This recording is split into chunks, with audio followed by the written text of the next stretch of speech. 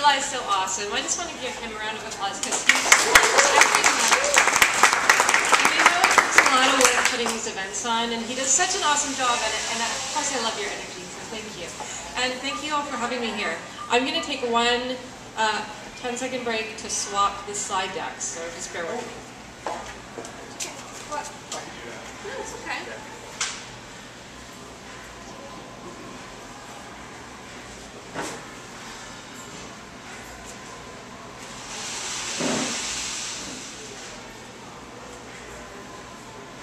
Okay.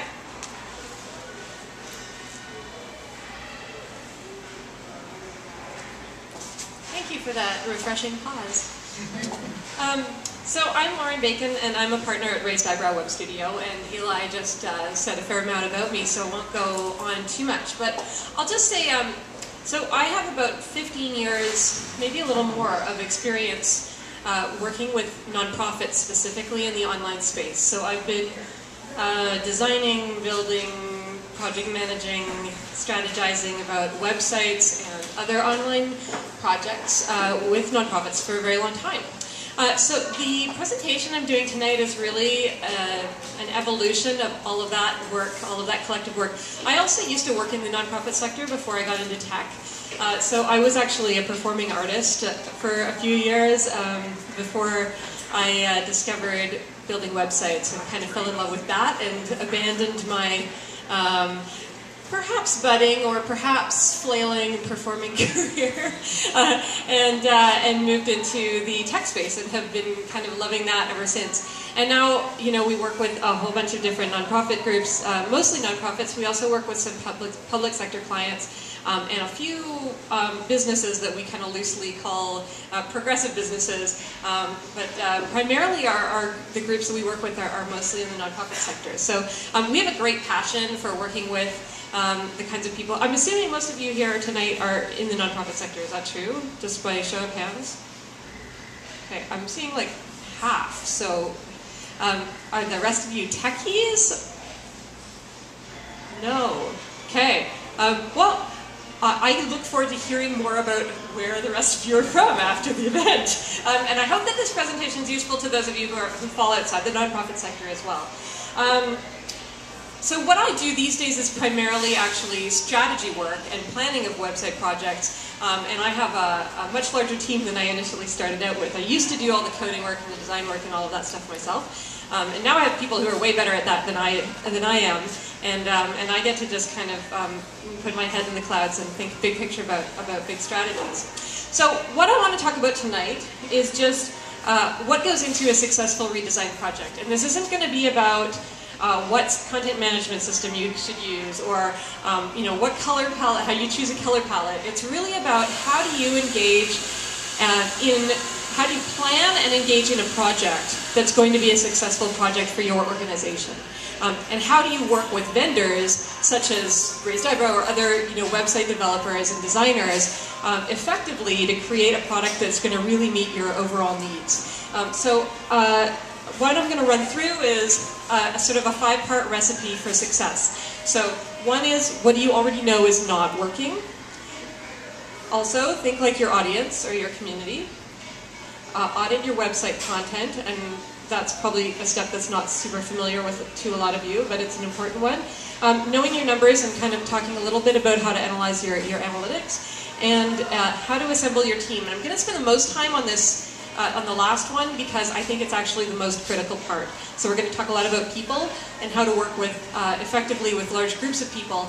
And one of the things I've noticed and learned from many years of working with nonprofit groups is just the importance of consulting with a large group of stakeholders and about having a really effective process in place for how you're going to do that and consistently looping people in as they need to be looped in. So let's start with what's not working now. I think a lot of us can actually do this pretty quickly on a gut level. What's not working about your current website? Um, so, you know, just figure out what your pain points are. Um, it, it's a really good place to start. So it might be the CMS software you're using is just not functioning or some other key functionality, uh, like your donation form is not working, or you're not able to integrate stuff with your email list, or your members only area has never really worked properly, or nobody's using it. Um, maybe it's an aesthetic or visual problem. Uh, it could be uh, branding or content, or it could be all of the above. So uh, start by just identifying your pain points and writing them down. And uh, that'll form the, really the foundation of your website redesign project. Because if you don't hit those notes, if you don't fix those problems and feel, uh, you know, then you won't feel like you've got a successful project at the end if your uh, fundamental problems are not solved. So that's step number one. Um, and I've kind of written up like what I would suggest as a poll for yourself. Just what's your gut check? Um, what's the number one problem on your current website? Is it that people can't find the information they're looking for? That's a big one for a lot of people. Is it that the visual design really needs updating and is like cringingly, you know, un unattractive to look at? Is it you just can't make it do what you need it to do from a technical perspective? Or it's all of the above and you just need to fix everything? And if you can just get kind of to a point of like ranking those things in some way, that's going to form the basis of your RFP, of your project brief with your vendors, and just of your measures of success for the whole project. And it'll also actually, the other important thing is, it'll help you evaluate the success of your website once the project launches. If you know exactly what it, you know, if you know the visuals were actually the most important thing for us to get up to date, you know, the functionality was basically there and, and our content was pretty good, but but nobody was able to stand to look at it because it was all on this acid yellow background, you know, then you know, you know, you can just resolve that one piece and, and you can also potentially do the work iteratively. Sorry. I'm trying to make love to the microphone as Eli instructed me to, and I might be overdoing a little bit. Let me know if, if anybody's having trouble hearing. Just like, hold your, okay. Um, all right, so uh, I want to talk a little bit about how we connect with our community. This is step number two. So, um, who do you want to connect with? When we talk about target audiences or target markets or, or the communities we want to reach, it really means people or communities who we want to connect with. So um, they're not just people who are kind of sitting there passively waiting to receive your gospel, um, much as we might like to imagine that people are, are doing that. It's not typically how people are visiting our websites. So ultimately, you want all of your project decisions to evolve out of consideration for these people. Since the success of all of your communications and community building efforts really rests on those people and connecting with them. So uh, before you develop your content and functionality plan, it's important to know exactly who you want to engage um, and consider investing in some basic uh, audience research or community research. Um, so that could be surveys of your current website users. Um, it could be people who are not yet on your website, but you know you're engaging with in other ways, offline or, or whatever. You know, whether you're uh, they're coming to your events, but maybe they're not on your email newsletter list, or uh, you're seeing them on the, the donor list uh, or the member list, but they're not actually interacting with you online yet. Make sure that you're covering those bases and not just surveying the people who are already uh, engaged with you online. Um, because ideally, what you want to do is actually connect with the people who aren't already deeply connected or deeply hooked in to every uh, medium that you already have going. So. Um, audience research stuff, it can be very basic, like a survey, or it can be quite broad, and it's something that you know your vendor can actually help you with. So, um, in especially in terms of keeping you focused, because a lot of the time when you start doing uh, audience surveying work or, or research within your organization, um, everybody can kind of want a piece of the pie, and if you're trying to focus on the online communications, and then donor development wants to like learn about you know some fundraising stuff and and then oh maybe member engagement wants to you know so it, the survey can get very diffuse very quickly. There's a lot of value mind you in integrating those things and in getting a broad view but you do want to keep it focused so that people don't have so many questions that they just run out of steam and aren't willing to answer them all. So um, so sometimes, anyway, working with your vendor can sometimes help keep you on track, and they'll sometimes just come in as the. This is one of the, the values of being a consultant. You get to come in and, and tell people what those people, you know, inside the organization have been saying for months, but nobody will listen to them because they actually work there. So I get to come in and sort of repeat that, and people actually listen to me. so. So, uh, so if you're having trouble getting heard uh, from your bosses, your higher ups, your boards, whatever, uh, feel free to just ask your consultant to do that dirty work for you. Um, but also the other thing is the vendor's job really is to advocate for that end user in every, at least that's how I view my role. um, and, and really just to ensure that the website resonates with the people who you want to reach. Um, once you get a little bit of data, and some of this, I will say, can actually be done on a gut level. So it depends, there's a whole spectrum of ways you can do this work. Um, and I'm not going to have time to get into all of them tonight. Like surveying is one. You can do focus groups if you have a lot of time and money resources, or even you know maybe more time than money. Um, you can also, uh, you may have a very clear idea just from working with your your uh, constituents who those people are. So if you want to just write down a list and you feel really confident that you know who those people are, then that's great, and that's where a lot of people start. Um, one of the things that's helpful from a, from our perspective as, a, as an outside firm being engaged to kind of do the design work and stuff is if you can kind of group those uh, those those communities in some useful ways. So there's a few different ways you can do that. Um, one is if you have target demographics in mind, like you have sort of particular age ranges or uh, their gender or uh, income-based or, or geographic or whatever, um, that, that kind of stuff can be useful. Um, that's not typically how most nonprofit organizations tend to group their constituents, but we sometimes see that with uh, with businesses and so on.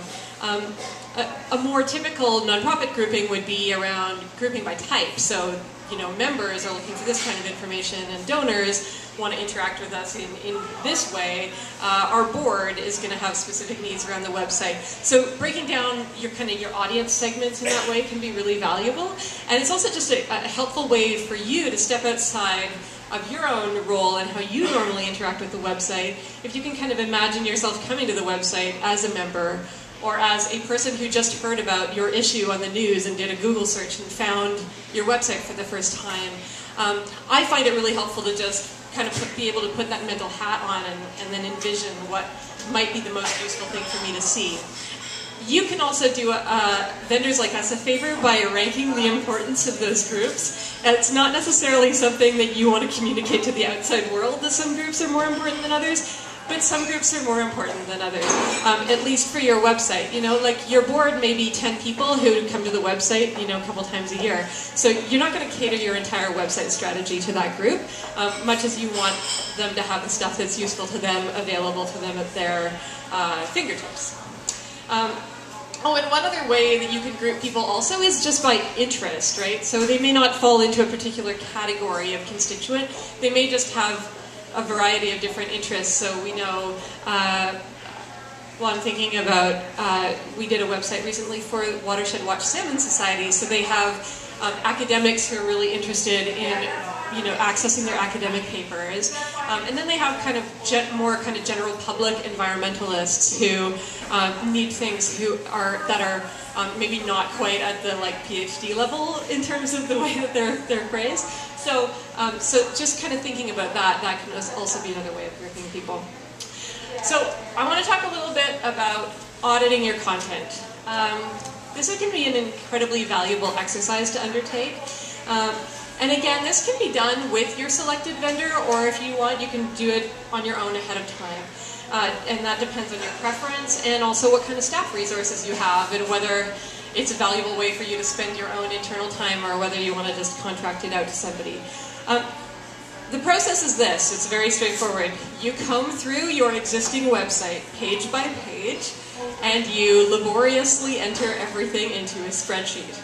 Um, not the actual content of the page, but what you capture is the title of the page, the URL of the page, um, sorry, I'll, uh, this is what it actually looks like. This is a sample from a client who uh, gave me permission to share.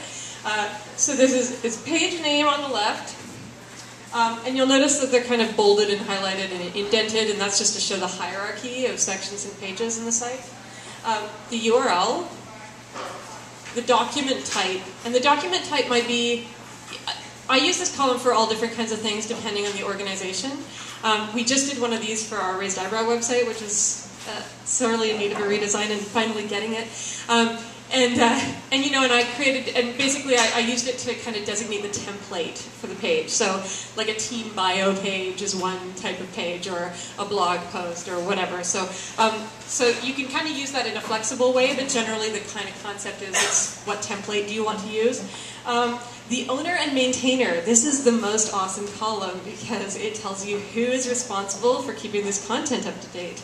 Um, and you can, if you are the owner of this document, you can um, get really uh, uh, powerful and assign duties to people. uh, but it's a very, very helpful way to just easily, quickly reference who's, who's in charge of this, who do I need to check in with if I think this is getting out of date. Um, then there's the other awesome column. It's called OUCH. OUCH is an acronym. It stands for outdated, unnecessary, current, or have to write. So, um, and all you have to do in that column is just write, you know, an O, a U, a C, or an H. And it tells you kind of where, like, how useful is this content right now.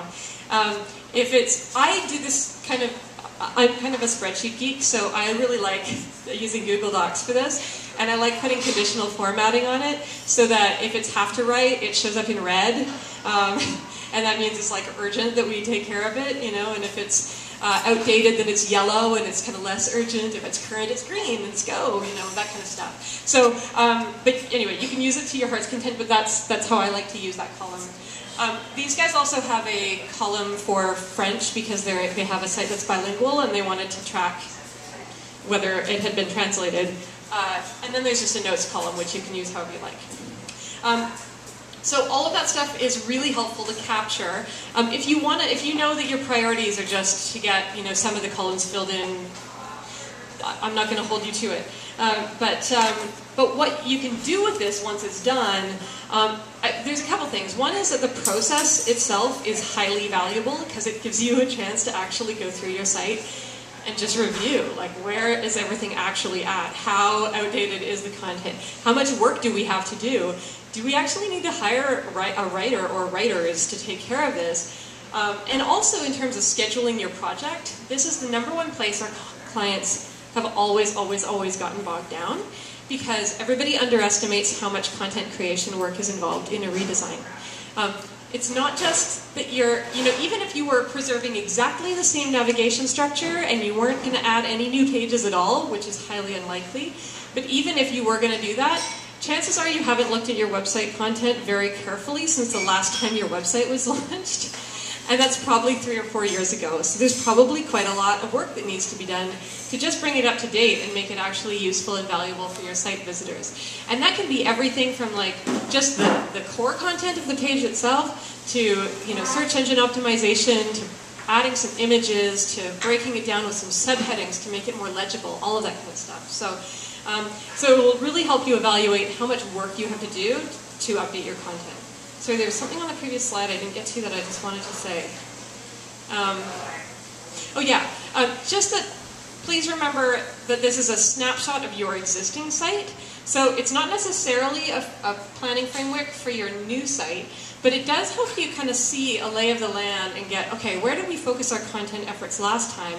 What you're once you engage a vendor um, in a redesign process, you'll likely come up with a whole new sitemap, right? Like the, part of that whole process is going to be brainstorming about uh, the communication strategy and the content that's going to go on the site and all that kind of stuff. So you're going to probably come up with a new framework for how people are going to navigate, uh, for how you want the content structured, and for how you want the messaging to actually come across. So there will be new content to develop, and what you can do then is create, if you like, um, if you're a spreadsheet geek like me, you can create a second version um, and you can port over, you know, the old URL that maps to some of the new ones. So if you know, you know, the About Us page at least is like, just needs updating and you can generally port it over from the old, the old page. Um, you, you can port that stuff over from one spreadsheet to the next as well, and you can help map that out. But the content inventory, this, this, this content uh, inventory spreadsheet, is really an evolving document. And the whole idea of it is that you can just keep updating, you can keep adding to it over time. Um, so it's a very valuable thing to have if you have the time and patience for it. Um, and I highly recommend um, tasking, if you, if you can't stand the idea of doing this yourself, um, this is a great project for a volunteer. Because it's, it's fairly um, predictable and like, you know, they just have to walk through the menu or the sitemap or whatever and just go through it page by page. Um, but make sure that they have you actually report out to you um, so that they're coming back to you and, and not just giving you the spreadsheet, but giving you kind of a high-level analysis of what they found because they're not going to know the content and messaging strategy stuff as well as you do. So they're going to be looking at it through a very specific filter. Um, so the, the grunt work can be done by a volunteer, but important that you interview them afterwards and ask them um, some key questions about uh, what they found, um, how did they actually find or reading through some of the content? You know, did, did it engage with, did it engage them on, on any level? uh, that kind of stuff can be very valuable as well. All right, step three, know your numbers. Uh, so um, this is all about using analytics as a snapshot of where you're currently at. This is also useful information when you're trying to project into the future and compare your next generation website to your current one. Um, what we're trying to do is really uh, get a sense of you have goals for what your next generation site is going to do for you. This is just to get a sense of what's the lay of the land right now so that you have something useful to compare to once the new site is live. So number one thing is make sure that you can access your existing stats. Um, this is, we've run into this more than once where, uh, you know, actually nobody knows what the login for Google Analytics is, or um, nobody ever bothered to actually check that the analytics package actually was working, and it turns out that no analytics have been being gathered for the last six months. Um, so before you start your redesign project, it can be super helpful to just double check this right out of the gate. Because um, at the very least, you can gather, you know, a month or two of the statistics while the redesign is, is underway. Um, so uh, that's number one. Um, there's quite a few things you can analyze. Um, we could do uh, one or more whole sessions on analytics, but I'm not going to get too deep into it.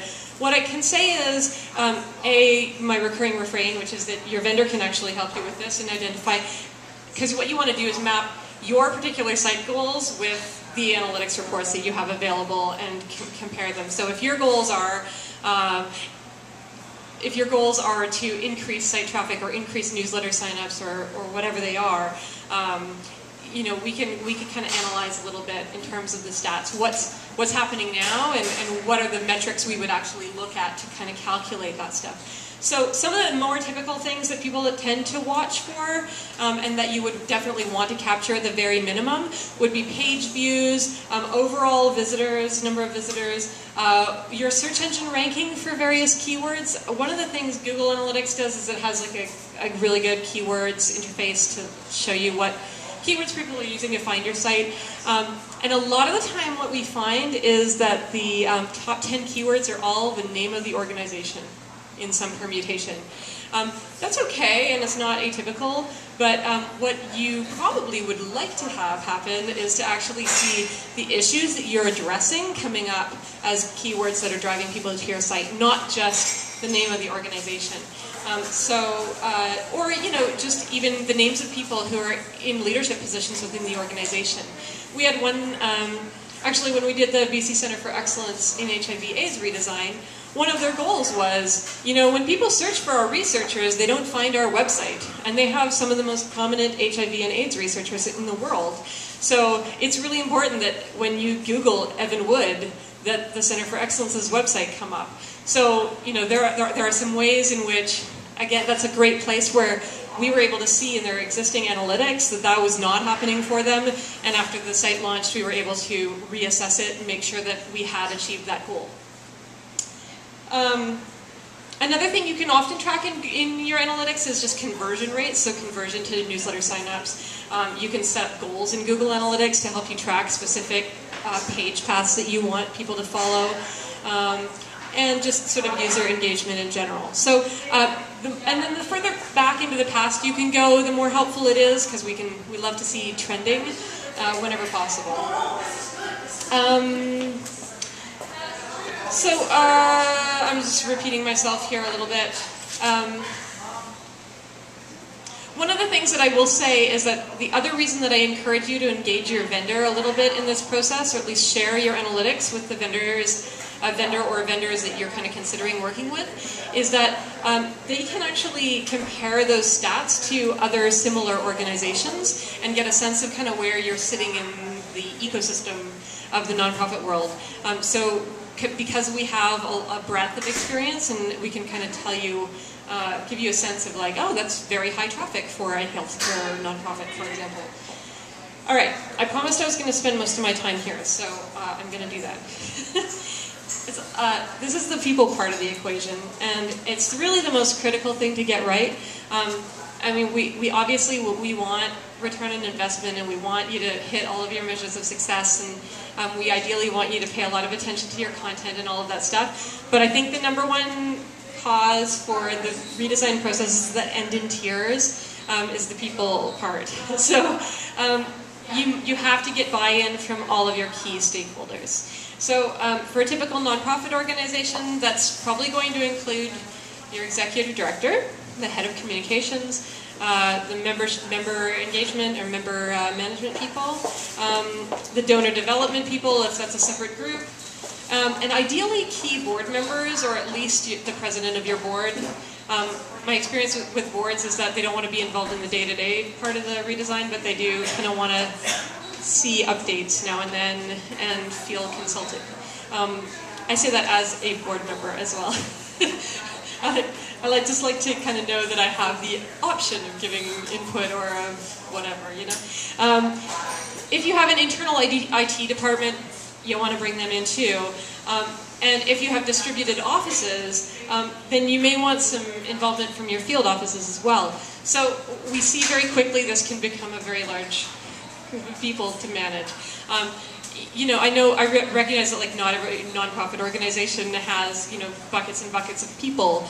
Um, but even the smallest nonprofit organizations I've worked with tend to have, at the very minimum, a bunch of like volunteers or board members or people kind of floating about you know, the founder who's still kind of vaguely involved, or the, you know, and, and so, um, so having you know a people management strategy, I think, is helpful, even if you're like a two-person office of actual staff. So um, there are a lot of different strategies that you can undertake, uh, but here's one that has worked for a lot of our clients in the past, um, and there's definitely kind of variations on this as well.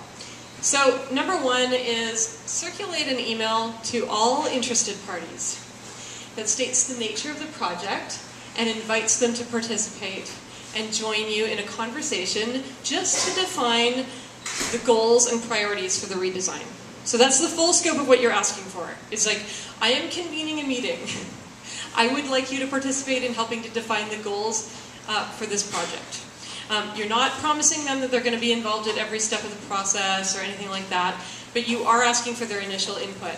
Um, and include a meeting invitation in that email. Um, so this is kind of their, it's very, it's important to kind of like emphasize that this is, this is kind of a make or break moment for them. Like, like if they want, if they're excited about this project, they want to be involved in the website redesign, this is the most important meeting they can attend. Uh, which is, you know, because if they're not involved in setting the priorities and the goals, then their priorities and goals will not be included in the plan. Um, and, you know, and if you're, for example, taking this to write, go write an RFP afterwards that you're going to use to actually get estimates from vendors and all of that kind of stuff, and those goals and priorities from those people are not included in that RFP, then you're not going to get accurate, estimates and a whole bunch of time will be wasted and blah, blah, blah, blah. So, uh, very important that everybody who wants to have input is giving input at that meeting. Um, so uh, step two, still before you have this call, I'm, I'm, calling it a call because we have a lot of clients who um, have kind of distributed teams, but you know, it could be an in-person meeting. Um, so before the call, share your observations and metrics. So this is where we go back to that like little poll I had at the beginning where you, you are saying, here's what I already know is not working you know, here are some of the numbers we have from the current site that are concerning to me. Um, here are some of the communities that we want to be reaching who we know we're not reaching very well, etc. So start breaking that stuff down for the people you're assembling on the call. Um, a lot of time gets wasted in meetings just communicating that stuff verbally, and I can't emphasize enough how much time you'll save if you can just send that stuff out in a very brief uh, email report. Um, so and it also just sets the tone. It, it helps people know this is a data-driven process. We're not just going to be talking about our feelings and the fact that we hate the color green and whatever. Like, we're like we're looking to have actual results and impact here. Um, so it helps them frame that, and it also um, ensures that your time spent together as a group is spent effectively and efficiently. So, and then ask everyone to review your notes prior to the meeting. Number three, convene the call. Um, so revisit the problem areas that you've identified. That's a great place to kind of kick off the meeting. Uh, very briefly, you might want to show them some examples of comparative organizations' websites as well. Um, if there are sites that you think are particularly effective and that you feel like your organization might be compared to. Um, but keep try to keep your presentation short, like 10 minutes max on a one hour call, because really your goal here is to open up uh, a big discussion and facilitate a free form conversation amongst all of the parties to get input from everybody about his or her priorities for the redesign and kind of what uh, what their goals are so that you can gather all of that input together. And everybody's going to have a different focus, right? Because they work in a particular area, and that's legit, and you want to incorporate that stuff. Um, and and then, but then once you've got everybody's input, ask the group to prioritize it, um, and just prioritize the various suggestions. Okay, so I heard that you know these 15 things are all priorities. Um, if we had to choose five of those things, which would those five things be? Or, you know, just how critical is it? How mission critical is it going to be for our organization to hit all 15 of these, these priorities? Can we at least rank them in order of, of most important to, to least important? Um, deciding on roles that everybody's going to have. Not all of these people are going to want to be present at every meeting, we hope. Um, but for your sake and for our sake. Um, discuss who wants to be actively involved on the project team um, and, and, and what those roles are going to be. And one of the things you can do is explain what the commitment level is it is that's involved because often we're talking about like weekly meetings over the course of a project and we're talking about the ability to respond to email inquiries within 24 hours and all this stuff. Not everybody's going to want to take that on. So um, that's one way you can kind of filter out um, people who feel like they're keen but don't actually have the time and capacity to take stuff on and make sure that your project team is lean. Um, critically important at this stage is that sign-off authority has to be granted to one person who is truly empowered to make decisions. Here, here. so, um, number one, so typically that would be the executive director. Um, if they are willing, we have had executive directors in the past as clients who were happy to delegate that authority to somebody else. The, the, the key thing is they have to mean it. So, um, and they have to understand what they're, what they're saying when they agree to that. So when they say, yes, I grant you, communications director, the ability to sign off on decisions, what they mean is they don't get to change their mind later and say, oh, actually, I really hate the design.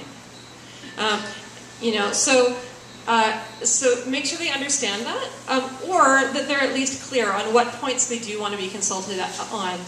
Because um, it's uh, often hard, and I will say this as a boss, uh, it's one thing to kind of intend to delegate things, and it's another thing to actually let go of the control and power that you're used to wielding over things. So, um, so make sure that you have that conversation. If they don't want to be involved in meetings, they should really delegate sign-off authority to somebody else, but not everybody can live with the consequences of that. So um, it is totally okay for them to ask for progress reports, um, and that can be a good compromise. But we had, uh, like, there's this one really memorable project that we worked on where we literally had gone through seven rounds of designs, and we finally got to sign off, and it was this huge committee of people involved in the process, and the exec they finally showed it to the executive director without having consulted with her first.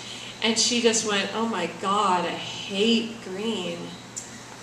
I, I can't believe you went with green. And we literally just had to go all the way back to the drawing board because she just couldn't get past it. It was like, really wish that somebody had thought to show her round three of the, the mock-ups before, you know? So, yeah. Um, all right, another option that can be effective if you have a particularly large group of stakeholders is to use surveys. Um, but we do caution against design by committee here because it can get into that point. It's very, very important to tie the goals of your redesign um, to your overall organizational objectives. So um, if, for example, your five-year uh, plan as an organization is focused on research, then you are probably going to want to prioritize a really kick-ass publication library online and it would probably be a higher strategic priority for you than generating a lot of user user-generated content. Um, you know, while we're great believers in broad consultation, uh, it's very important not to let a sea of voices overwhelm the people who are kind of at the center and really closely tied in to the objectives of the organization and who are also most accountable, right? So um, uh, I guess be thoughtful about who and when you ask for input um, and, and make sure it's clear, like, okay, I'm actually accountable to the board, or I'm accountable to the ED, or I'm accountable to our membership for achieving our organizational mission, and if we fall flat on this thing, then I'm, I'm gonna, my feet are gonna be held to the fire. Your relationship with the project is gonna be different than somebody who's got a more tangential uh, relationship with the organization. So, um, I've identified some places where it can be helpful just to share input with your broader team. Um, so these are the people who aren't coming to every meeting, but maybe just want to kind of see status reports or updates from time to time. It's kind of a soft way to invite input without getting bogged down in collaborative group process. So um, one is the priority setting, like I talked about at the beginning. So this is your meeting, your big brainstorming meeting. Uh, so priority setting for key metrics. And, uh, and for new and improved functionality, that's a really important place and helpful place to get the broadest possible group of people in the room. Uh, second place would be just prior to design sign-off. Um, so it's too late for them to give detailed input, but it's not too late for somebody from communications to pipe up and mention that you're actually you have the wrong version of the logo in the header or something like that. Uh, it can be really helpful to just kind of show it to everybody, and people will catch things that you may have become blind to in the course of, of the, the process. Um, uh, things like, uh, I don't see a donate button anywhere on the site. That's a good one to catch too. Um, about a week before launch is a good time to invite kind of beta testers within your organization. So this is kind of late enough in the process that hopefully you have the majority of your content in place. Um, although we've certainly um, witnessed people doing burning the midnight, oil uh, right before launch date. Um, but invite those beta testers and, and proofreaders for the content. Um, so those have to be people who can work around minor bugs as they're being fixed because you are going to have bugs happening at that point still. So they need to be people who are not going to freak out if they see spelling errors um, and get so obsessed with the spelling errors that they can't see the bigger picture. Um, so uh, yeah, so make sure that they're not, you know, the most, the most careful spell checkers that you have maybe shouldn't be released on the site until like a day before lunch. Or even the day of lunch, or the day after lunch, once you've actually had time to go and proofread your own content. Um, immediately after launch is a great time to bring everybody into the room and celebrate with everybody, throw a party, invite your staff and your members and your board. Because um, really, what you'll, what's typically going to happen for you, the people at the center of the project, is you're going to be totally out of steam for the project at this point. Um, you're going to be totally exhausted. You never want to look at the website again. Uh, it's totally exhausting, and the idea of doing all the post-launch stuff, like actually promoting the site, is going to feel totally overwhelming. So what you want to do then is just gather the clan, bring them on in, tell them that their job now is to promote the site on your behalf, and give them some very clear ways on how they can do that. So uh, what are the features, the, the new features that they can promote? Um, do you want them to comment on the blog? Do you want them to submit content? Do you want them to create user profiles on the site? What are all the ways they can get involved? It's a great way to kind of rally everybody and, and help them feel really involved in the pro project. Um, they can post links to Facebook, they can sign up for the, whatever this stuff is. Uh, just tell them exactly how they can help and make it easy for them is the key, key thing. Um, okay, I did want to just briefly touch on things that you can do to write a better RFP. So um, really, these tips apply to any conversation that you may have with a vendor. So it's not necessarily like it's not necessarily restricted to stuff that goes into a formal request for proposals. Um, it can also just be you're simply talking to an agency or two. So the key thing to remember really is that uh, web designers are problem solvers by trade. Um, so I'd encourage you to avail yourself of that. You don't need to know what the solutions are to every problem that you have. Um, so what's really helpful for us is for you to bring us your challenges um, and not necessarily prescribe what you think are the solutions. I mean, it's super helpful if you have identified some of the solutions. That's awesome. Um, but sometimes we get RFPs where it's literally like, you guys have done all of the planning and it's like so locked down already that there's very little room for us to really bring our expertise to the table. So walking that, that line is, is always helpful. Um, but more importantly, just don't feel like you need to know everything or like you need to know exactly what it is you need. Um, so um, we've reviewed today several processes that are going to basically help you come up with the information that a vendor really needs um, in order to design a solution that meets that achieves your goals. So um, you can easily include all of that information in an RFP if you write one or with your vendors when you meet with them uh, to give them some context as to why you're pursuing a redesign at, at this time. So give, sharing them with them your goals, sharing with them who your audiences and your communities are that you want to reach. Um, some of your statistics, uh, all of that kind of stuff is really, really helpful for us in terms of trying to understand what your goals and priorities are and it's actually much more helpful than just seeing a laundry list of requirements. So uh, if I get an RFP that says, uh, we need an event calendar and a publication library, and the publication library has to be searchable on these three different types of things, um, I, I know how to build that. Uh, but I don't understand why I'm building it. So ha having the why piece is, is really, really helpful because if I hear the why, I may be able to recommend what I think is actually a better solution or a more efficient solution or a, uh, just a slight twist on what you've suggested that I, that I know has worked for other clients really well. Um, that kind of stuff. Uh, and so like, yeah. Okay, I'm just going to stop repeating myself about that. Um, other things vendors will want to know. So they want to know uh, your challenges. So what's not working right now? Um, again, try not to jump to too many conclusions about uh, what the solutions are if you can help it, but, um, but just state the challenges. Uh, talk about your audiences. Talk about uh, where your existing website content stands. Uh, if you know, like, you know, uh, we talk a lot about issue X on our website, but we haven't been talking about this other thing that's actually been a huge focus for us for the last 18 months, and we've just never managed to figure out how to integrate that on our website. Um, that's also really helpful background information for us to have. Um, who's on your team and who the key sign-off authority is. Um, mostly it's just helpful for us to know that you've considered that, um, but um, it's, it's also helpful for us, especially if we're trying to figure out timelines, to know how, how big a group are we working with, how many people do we need to engage with during the process, um, and, uh, and all of that kind of stuff. And, and just what are your top priorities for the redesign? That's like the number one thing we really need to know to do our job well. Um, I have a recap here, but I think I've already covered this stuff, so I'm going to breeze past it. Um, I do want to get into Q&A, and I'm going to do my one brief 20-second promotional pitch, which is who Raised Eyebrow is and what we do. Um, I just want to say uh, we're, a web, we're a web design company and strategy company that loves working with people who are um, focusing on social good and want to connect with their communities online. Um, so if, you, if that sounds like you or somebody you know, we would love to talk to you. And that's all I'm going to say about that. So that's it, and I'd love to take questions and hear what you have to say. And I also want to say, I know there are like quite a lot of experts in the room. I, you know, recognize some faces in the room.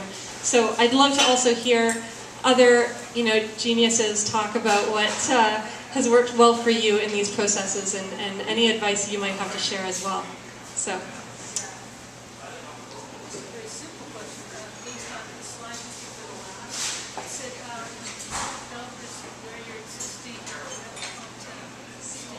Yes. Okay. Uh, yeah. So where does your exist? The question was, uh, what does it mean when I? What did I mean when I said uh, tell your developers where your current website content stands? Um, were you here for the bit about the content inventory, the spreadsheet of content? Yeah. So really, what I was just talking about there is is just having a sense of like how up to date is your content?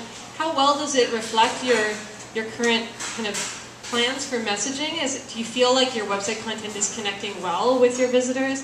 Um, do you want to have a writer working with you? Like, do you have a sense that you maybe want to engage a writer or uh, or need to really totally overhaul the navigation structure of your website? Um, just a sense, kind of. I mean, it doesn't need to be in detail, but a sense of kind of what your content priorities are in addition to your functional priorities. So there's kind of the tech tool side of things, and then there's also the, the messaging and the, the heart of what's being communicated. Is that helpful? Wondering if you've ever gone through this before. So I'm on a team right now that's got to put out a brand new website. There's three of us. I think I know what I'm doing. One other guy can like is it good enough to send an email.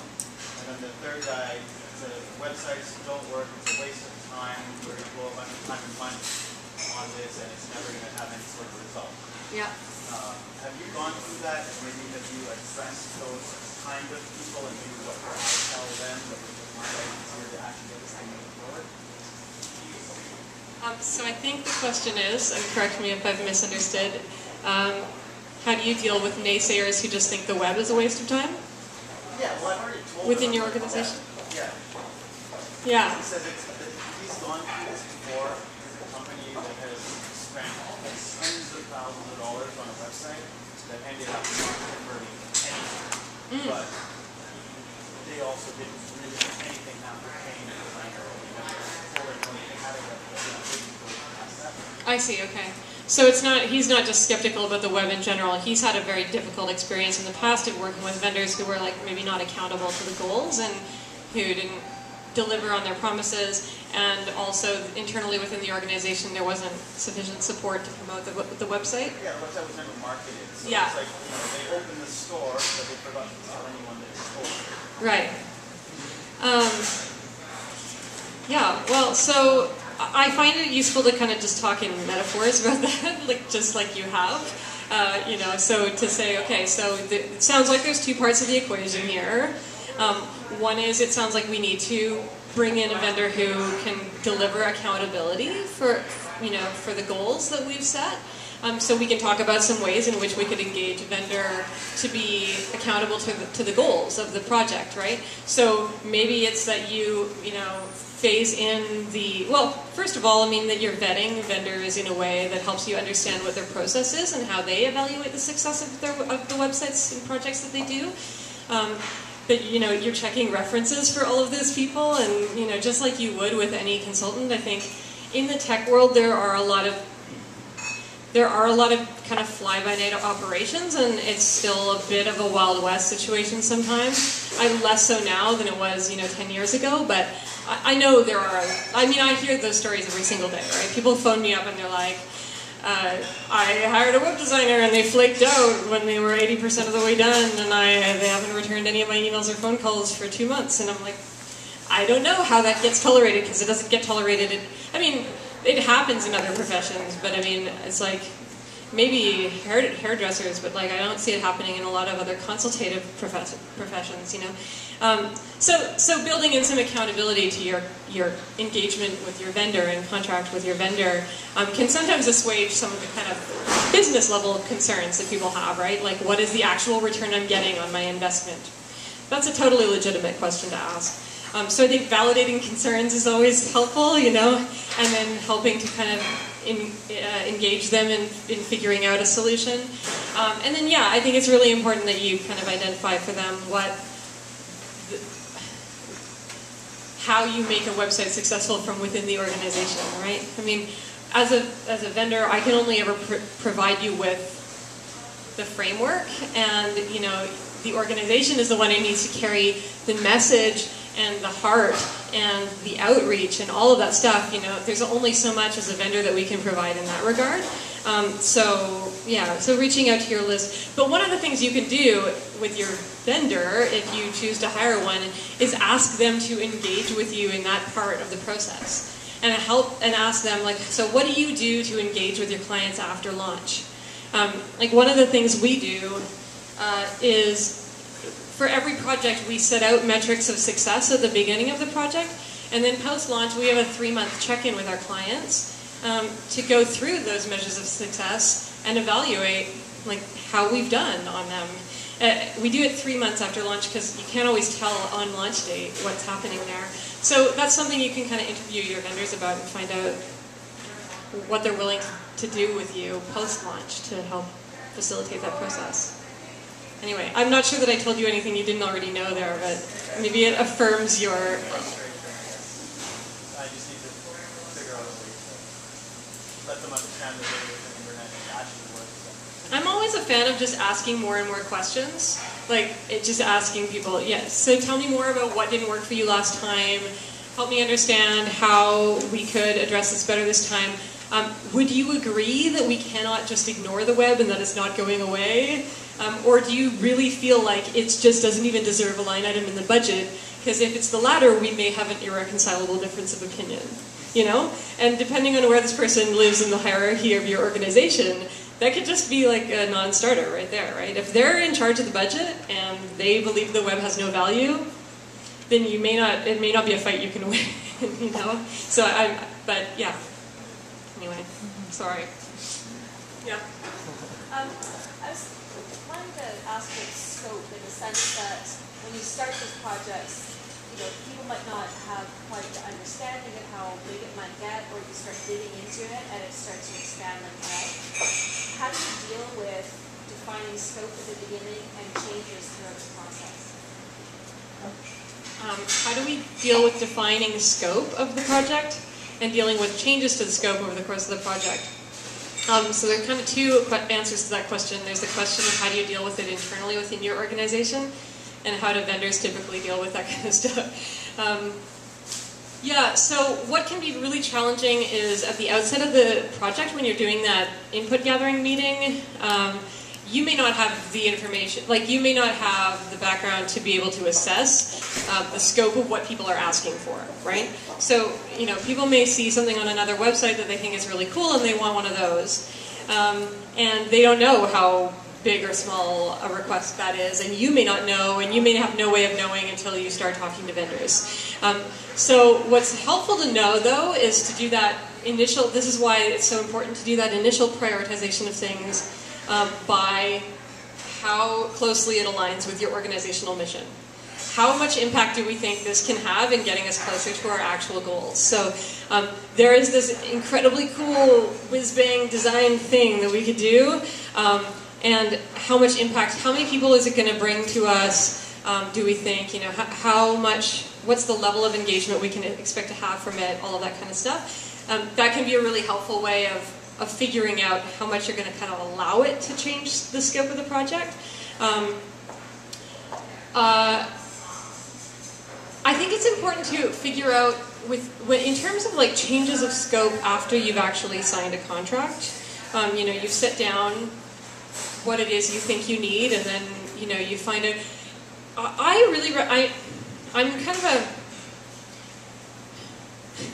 this is a tough one for me to answer because I feel like I have my process of the way that I like to work and I feel like it's right. And so I'm going to share with you why I think it's right. um, and other people have different processes, but, um, but the way that Raised Eyebrow works is that the first part of every project is what we call the functional requirements gathering phase, or the requirements gathering phase. And what we do is we do a couple of things. We sit down with you, we figure out who your audiences are, um, what your goals are, what your measures of success are, and then we start scoping out the functional requirements for the site.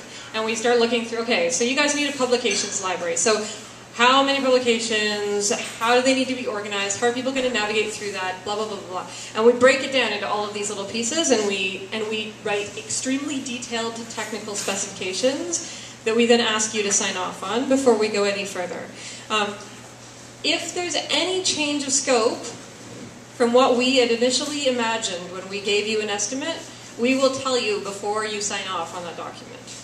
Um, I just feel like that's fair on all fronts because I want to know as a vendor if I'm being asked to do more work than I originally anticipated um, because I don't want to have to eat the extra cost, right? So I have an incentive. Um, and, um, and I feel like it's important from your end in order to evaluate like your satisfaction with the project, right?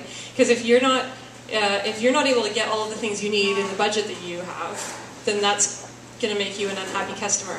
So, um, so my other incentive is I want to continue to have your business over time. I want to get referrals from you. I want to have happy clients in my portfolio. Um, so there's that secondary um, or sometimes primary objective to it too.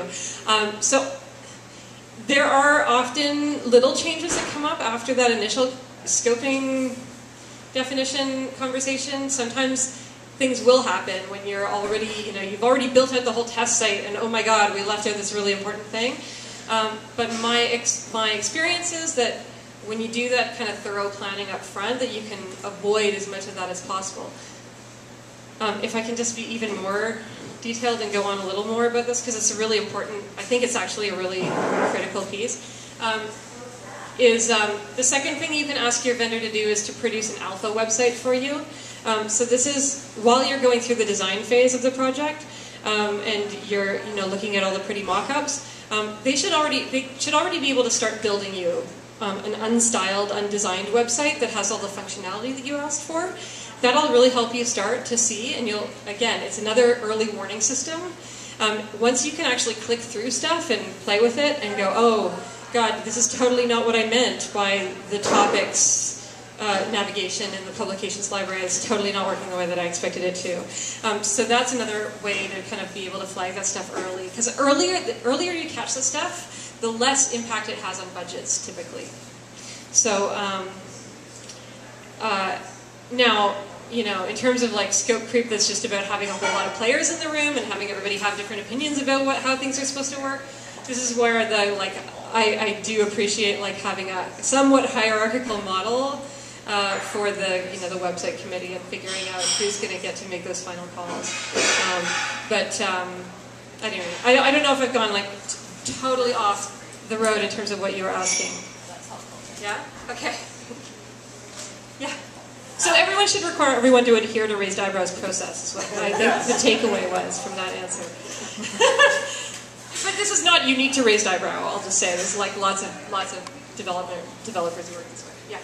I was going to ask similar questions, more about resources.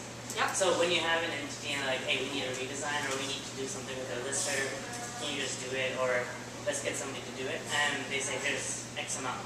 But in actual fact, the opportunity is so much more. So I know you've been external, but internally or within other groups, how do you leverage ways to sell um, impact when you're dealing with people who don't or like fear the web? Right? And so that's the key. Like, we need a Twitter.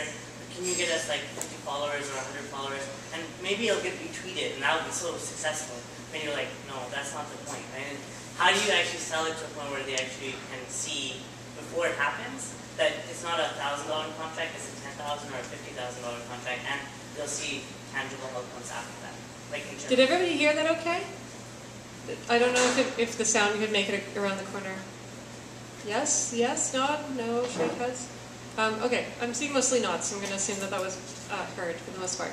Um, I think the key is just educating people, and so what I've seen work for other organization uh, or other organizations is that you know the internal evangelist, so that's probably you, um, actually convenes a meeting of all of the people who, all of the decision makers and influencers in the organization, and teaches them about social media.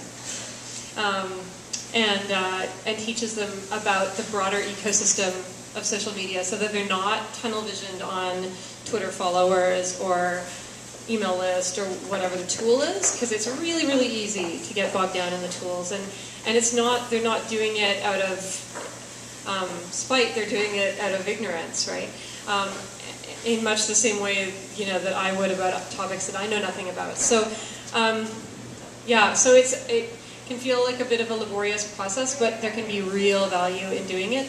And and the, so the, the frame that I've often seen people put on it is um, you have to start with the high level objectives and help them understand. Okay, here's what here's why I'm talking to you about this. I'm talking to you about this because this is changing the landscape of the way that our constituents engage with us, and um, and it's and it's really critically important that we engage with our constituents in a way that is relevant to them today, and that's going to continue to be relevant to them in the future. Um, and if you can kind of paint that picture for them and help them understand, this isn't just about Twitter. We're not just going to sit and waste your time for an hour talking about Twitter.